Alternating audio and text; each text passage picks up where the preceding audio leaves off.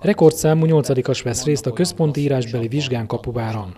168 végzős általános iskolás diákat tanúbizonyságot tudásáról január 23-án szombaton a Kapuvári Katolikus Gimnáziumban. Ez a középfokú beiskolázás szempontjából egy nagyon fontos dátum. Már december elején jelentkezniük kellett a 8 általános iskolásoknak az írásbeli felvételére, hogyha olyan iskolában gondolkodnak, amely kéri az írásbeli felvételit a továbbtanuláshoz és hát január 23-án szombaton fog sor kerülni erre az írásbeli felvételire.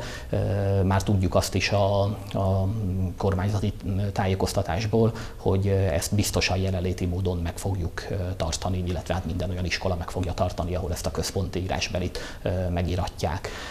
Természetesen be fogunk tartani minden fontos egészségügyi védelmi intézkedést, tehát akár a készfertőtlenítésre, ha gondolunk, a maszk használat, használatnak a lehetősége megvan a diákok számára, a felügyelő tanároknál ezt kötelező, és legfeljebb tíz tanuló lehet egy tanteremben. Ez nem kis logisztikai feladat elé állít bennünket egyébként, mert hogy hát emiatt, hogy csak tízen lehetnek egy terembe, ez eleve több tanterem és több felügyelő tanár munkáját igényli. Illetve hát örömmel hadd mondjam, hogy rekordszámú jelentkezőnk van az írásbeli vizsgára. Általában az elmúlt évek tapasztalata alapján olyan 100 és 120 között szokott lenni a, a nálunk írásbelizőknek a száma. Ez most 168 lesz, tehát ez jelentős többletmunka mind a felügyelő tanár, tanároknak, mint pedig utána javító tanároknak, hiszen ezt annak az iskolának a matematika és magyar szakos tanárai javítják ki a rákövetkező héten, ahol írják a gyerekek a felvételit. Hogyha megtörténik a felvételének a megírása, illetve a kiavítása a dolgozatoknak, akkor a gyerekek megkapják ennek az eredményét, ugye 50 pont a magyar nyelvi és 50 pont a matematika írásbelének az eredménye, és akkor ennek a tudatában hogy mit értek el az írásbeli felvételén, illetve milyenek a jegyeik a hetedik év végén, nyolcadik fél évkor, dönthetik el, hogy milyen középiskolába szeretnének jelentkezni. Természetesen már most is vannak komoly elképzeléseik a nyolcadikasoknak arról, hogy hova szeretnének tovább tanulni. És a következő fontos dátum az pedig február 19-e lesz, amikor kell jelentkezni a középiskolákba. A jelentkezési lapon akár több középiskola is megjelölhető. És itt hát egyúttal hadd mondjam azt, hogy szeretettel várja természetesen a mi iskolánk, a katolikus gimnázium is a nálunk tovább tanulni szándékozó fiatalokat, hiszen mi kérünk írásbeli felvételit, illetve hát a hetedikes évvégi és a nyolcadikas félévi jegyek számítanak, úgyhogy amint megkapják a félévi bizonyítványokat, akkor már tudhatják, hogy mennyi pontjuk lesz. Ugyanakkor eh, ez a dátum, a február 19-i jelentkezési határidő vonatkozik a kis gimnáziumba eh, szóló jelentkezésekre is, úgyhogy nagy szeretettel várjuk a negyedikes általános iskolákat a eh, terveink szerint két indítandó 8 évfolyamos gimnáziumi osztályunkba. Ugye itt főként az idegen nyelveken és az informatikán van a hangsúly, tehát a, az átlagosnál azért kicsit jobb képességű, tanulni szerető gyerekeket várjuk ebbe az osztályba. De egyébként indul ötödikes általános iskolai osztályunk is, úgyhogy akár azt is lehet választani, hogyha valakinek a gyermeke kevésbé jó tanuló, és mondjuk olyan iskolába jár jelenleg, ahol nincs felső tagozat, akkor szeretettel látjuk őket is az általános iskolai osztályunkba.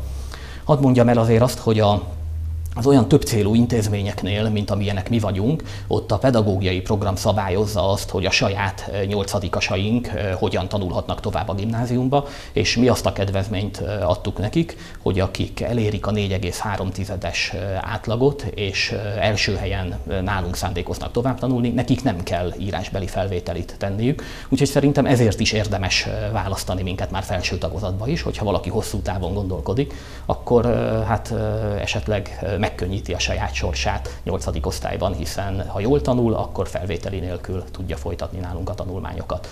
A kis gimnáziumnál pedig természetesen automatikus, hogy folytatja tovább a 9. osztályban az iskolai évfolyamait. Azután, hogyha ezen túl leszünk, ugye akkor hát természetesen a felvételi folyamat az egészen április végéig tart, hiszen sorrendet állítunk fel a pontokból, akkor a diákok még módosíthatnak a választott középiskoláknak a sorrendjén, és itt tényleg hát április vége lesz az, amikor ténylegesen mi, mint gimnázium látjuk azt, hogy kik fognak az új 9. osztályba járni.